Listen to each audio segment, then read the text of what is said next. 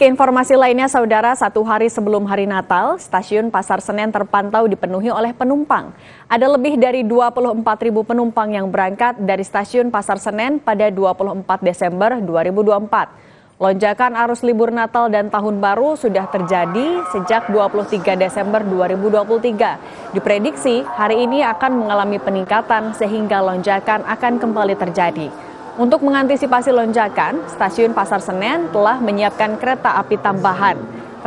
Terdapat 34 kereta api tambahan disediakan dari stasiun Pasar Senen.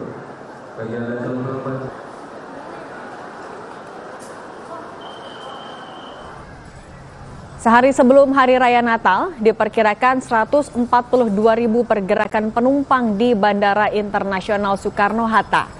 Mereka akan dilayani 1.032 penerbangan.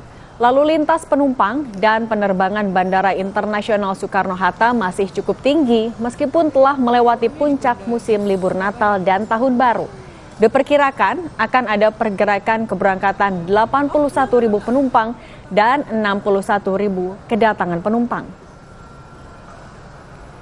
Informasi terkini situasi arus mudik liburan akhir tahun di Bandara Soekarno-Hatta, Tangerang, Banten. Kita bergabung dengan jurnalis Kompas TV Taufik Riyadi.